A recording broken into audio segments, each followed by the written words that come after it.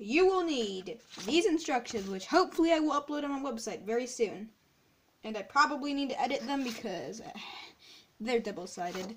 Anyway, you will need a ruler, a pencil, a lot of card, a lot of tape, scissors, some duct tape, maybe, some more duct tape if you need it, maybe, a silver marker or pen, maybe, some kind of purple marker for Cassius Chrome's hair or whatever.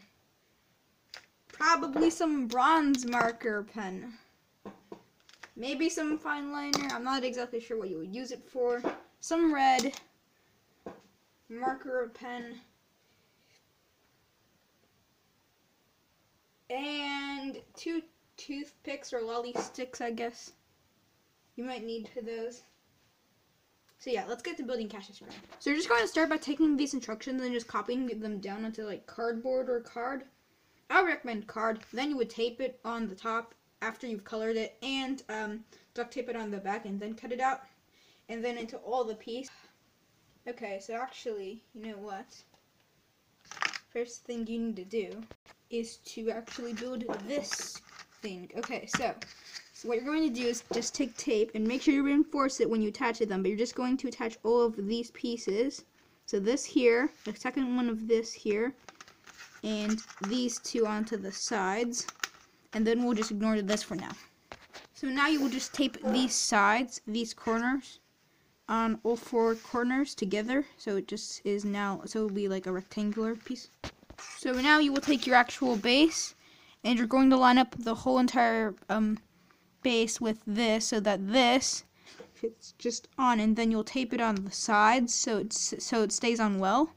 So it just has to line up like all the way through here and it can't be on any of these like extending the pieces.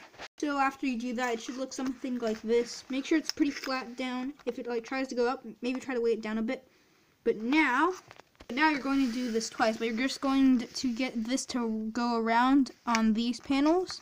To go all the way around, something like this, and then you'll just tape it together to look something like this. You need two of those. So there we go. So now you're just going to attach them in this spot over here using some tape over the sides and then maybe you want to do it over these sides just to reinforce it well. Also, if you like want to use Lego wheels, you could put in some Lego wheels under this. I'm just going to leave it like this. Okay, so the next thing you need to know is that there is a piece that is larger than this by a bit. It's actually pretty tall, but you end up running over the curves like so to create eyes. So like the top should be around there, and then you just cut some curves to create eyes for the cat for Cassius Chrome, and then you bend the piece quite a bit actually. So then you want to take your friend Cassius Chrome, and you're just going to tape it on, and you need it to be bent. These angles signify that this is the front, by the way. Okay, so next is that you're going to bend this piece quite a bit, and you're going to take your actual, like, body so far and you're just going to attach it around to there. Okay, so next up is you're going to take these big pieces uh, and you're just going to wrap this around these circles and tape it on around both of them. Something like this. So yeah, just the tape, I just taped it on like so. And yeah. So now you will take some more tape. Take said tape and just attach it near this bottom area. And then you're going to want to line it up with this. And you're just going to line it up so that it lines up with these edges over here. And you're just going to tape it down. And to the back. So you're going to have this piece. And you're going to really want to make a nice deep cut. Like quite a few cuts just to get the hair kind of shape of Cassius Chrome. You're just going to want like to pull it apart. But on this one, you just really want to get a really long cut. So this one bends a lot more. And I'll explain very soon why that is. So you are going to take a very thin snippet and you're just going to attach it just in between the eyes right there, I guess. As you can see. And you're going to take this and you're going to bend this. So it just kind of like goes out like that and just going to tape it down like so. and then you're going to bend the hair kind of style so that it just fits with this and then you're tape it and then you're going to tape it down something like this so you just it doesn't look as good as I would have wanted it to but it still looks pretty good kind of has the purple hair design and yeah so now you are going to take a nice big chunk of tape and just attach it right over here and you will bend it into like kind of like a cylindrical shape. So now you shall take a large piece of tape and just attach it onto about there. And then you're just going to kind of get the idea where you want to attach it onto Cassius Chrome. And then you will attach your tape on, making sure it's reinforced pretty well and it sticks and it stays on to there. So you want it to look so far something like this.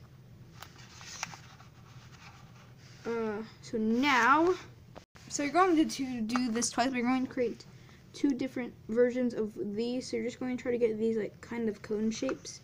So what you do is that you just take your smaller circles and you tape them onto the top and you just round it around it.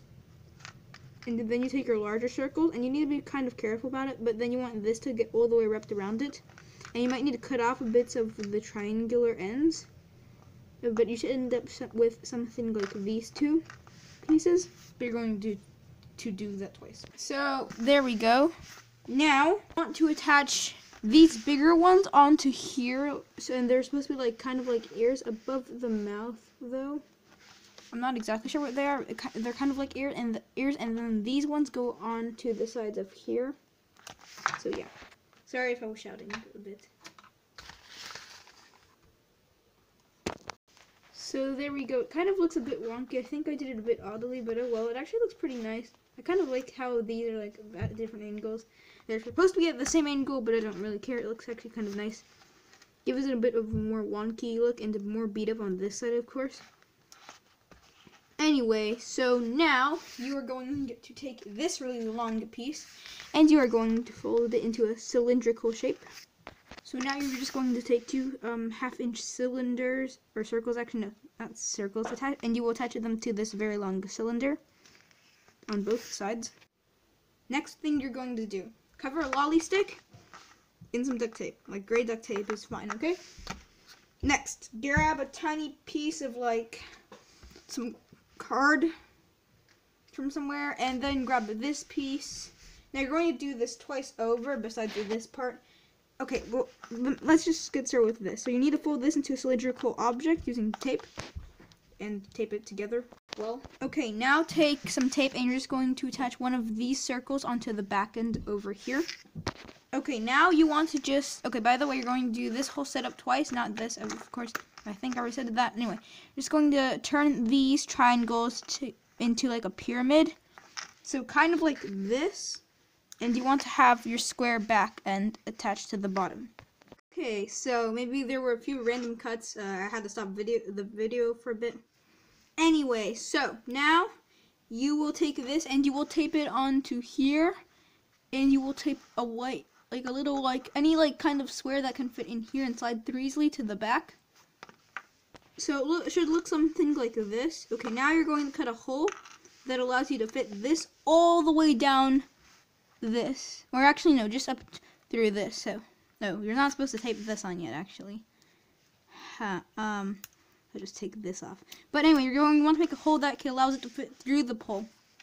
Anyway, once you're done cut making the hole, then you're just going to tape it onto here.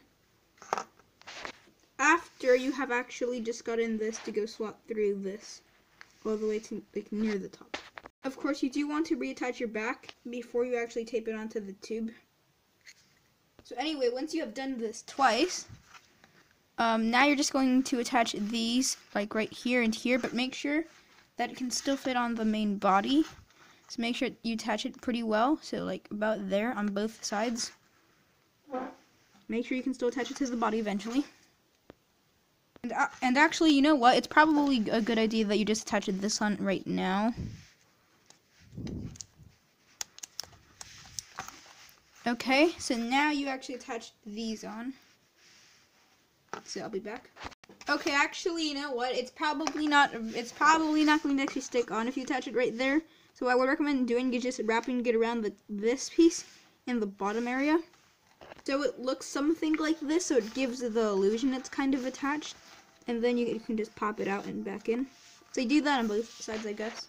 So overall, Cassius Chrome should look something like this. Now this turned out pretty good. Not exactly how I wanted it. The hair's not too good.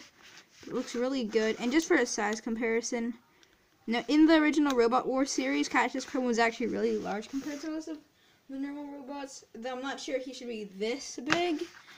But for a house robot, I guess it'll be fine. So here's Tantrum, one of my smaller models. A bigger model like Lucky's, more up to scale with Cassius Chrome. And Cassius Chrome is just really tall. But honestly, it looks really good in my opinion. Not exactly how I would have wanted it, but it's not bad either. It's pretty good. So yeah, have a good day.